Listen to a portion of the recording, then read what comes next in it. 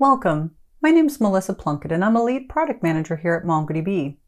Over the last few years, I've worked with HashiCorp and with our own MongoDB teams to bring you the HashiCorp Terraform MongoDB Atlas provider.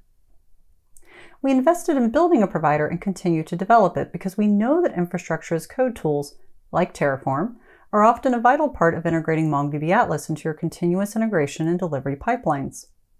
With the provider, you can easily and quickly provision, manage, and control standardized clusters in testing, QA, and production environments.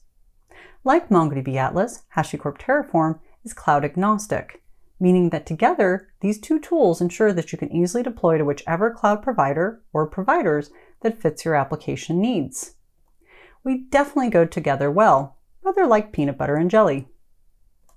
In today's demo, I have already set up the following the Terraform CLI, a MongoDB Atlas account, a MongoDB Atlas organization, and created a MongoDB Atlas programmatic key pair with sufficient privileges for what I'm doing today.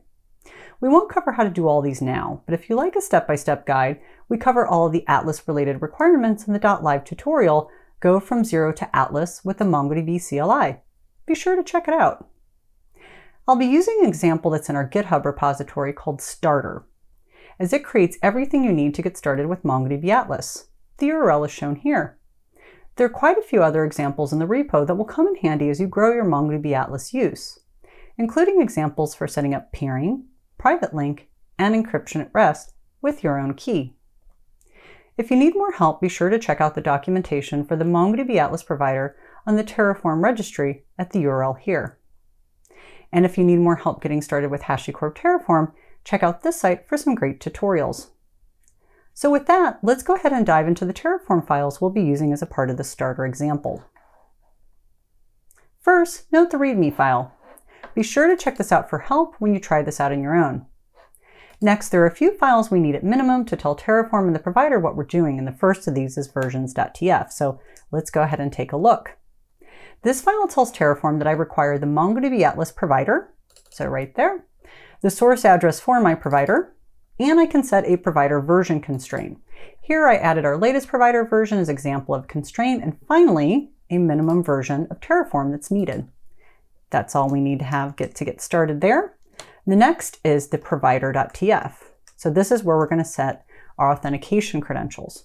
Now, you'll notice here that I have the variables for the Atlas programmatic public and private key pair commented out. This is because you can either set these variables in a variables related file like this, or you can set them as environment variables. Since my API key is an important secret, I've set it as environment variables for today. So we've got that all set and ready to go.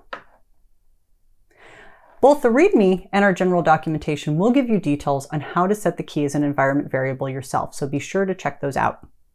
Our starter example will create four foundational items that we'll need to start on our Atlas journey. That's a project, a cluster, a database user, and a project access list. We'll take a look into each of these files to see how each file, each item is configured, but first, let's look at the variables.tf file to see the input variables we'll need to provide values for. As you can see, we have quite a few strings here we'll need to provide in order for Terraform to be able to create the starter environment. Each has a description to explain what it is and a type to show what kind of value it is. All of these take strings. So we're going to need that organization ID, a project name, a cluster name, what cloud provider we want to use, the region of that cloud provider we want to utilize, the MongoDB version, what we want to call our database user, a password for that database user, what database that database user will be limited to using, and finally an IP address that we'll be connecting to our cluster from. So how do we set all these input variables? We do that in a terraform.tfvars file. So let's take a look at the one I created. So here I've already set all of those values, and that way those values can be inputted into the Terraform configuration files I'm about to show you. Remember, be sure not to check files like the tfvars file into GitHub because often they'll include sensitive information that you would not want to leak out of your organization. Now that we have our variables, let's dig into those other Terraform configuration files. The first of which, and probably the simplest, is the project configuration. It takes just the desired project name that we set in that variable, the existing org ID, and then we're going to print out the project name as a reminder for when we run a plan or apply. Next, let's go ahead and look at the Atlas cluster configuration. This is quite a few more options. Here we're going to use the project ID of the project we just created in the Terraform run. We're going to pass in that desired cluster name and MongoDB version. We're going to set that it's a replica set with a block of information about the replica set that we want. We're going to ensure that backup is enabled and also that we have auto scaling enabled. And then we're going to pass in that cloud provider that we want to use. The region is actually set up here for that cloud provider. And then we're going to set, and this is actually set for you in this example, an M10 tier cluster, which is a really good one for development. Finally, we're going to output our connection string. So right here. And we'll need that connection string to connect via shell or driver to this new cluster. For more information on how to use the connection string, be sure to check out the Atlas documentation online. So now that we've got these first two items, let's go ahead and check out database user. In order to access the cluster, we need to create a user here. So again, we specify our project that we just created, so down here at project ID, along with our desired database user username and database user password. While we were creating a user here with a username and password, we have other options we could use, such as creating a database user that will utilize an X509 certificate instead of a password. We are giving this user a role of read-write, which will allow the user to read and write to a database and or collection. In this case, they can only read and write to the database we specified in the input parameters. Note that this database does not have to exist before creating this user. This makes it really easy to set up users early in the process before you've got everything else. We also show an example of a label here.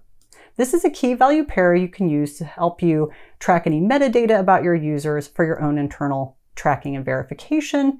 And then finally, we're going to output that database username as a reminder when we do plan and apply of what we've done. So we've got three, we're down to the final. So let's go ahead and take a look at the IP access list. When one creates a cluster in Atlas, we keep it secure by blocking all access to that cluster by default. So we need an IP address, CIDR range, or AWS security group for the location that we plan to connect to our cluster from. Here, we're going to add in that IP address that we have in the input variables in the project that we just created, and with a comment to let my colleagues know exactly what this is. Finally, we're going to, again, to just set a reminder for ourselves, output the IP address when we plan and apply. And that's all we need to get started. So let's go ahead and exit out of here. We're going to initialize Terraform. So we'll see here, I've already got my provider there installed. So let's go ahead and run a plan, make sure everything looks good and we'll get four items. Yep. We've got four to add, that's four we just looked at, and what changes we're gonna know in our outputs.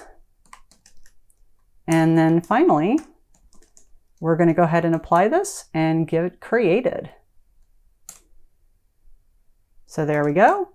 We see we're going to have that four, say yes, and we're going to head and start creating along. So we can see we've got our project, we got our IP access, our cluster is starting to create, everything's going along really smoothly. So let's go ahead and jump over to the Atlas UI and see our apply in action.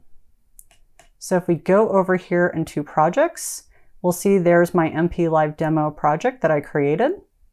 And when we click on that, we're going to see that cluster come up and see that it's got kind of a blue dotted bar showing that it's being created, but my database access, so my IP, or excuse me, my database user is already created here for me, so that's already been done. And my network access is already done as well. So we can see basically we're just waiting for that cluster compl to complete. That normally takes around seven to 10 minutes. So I actually created one beforehand with Terraform to show you what that final output is gonna look like. So we see here's one that's already complete. We added four resources and then we have our output. So we have our connection string. So that's what I can use to connect to my cluster.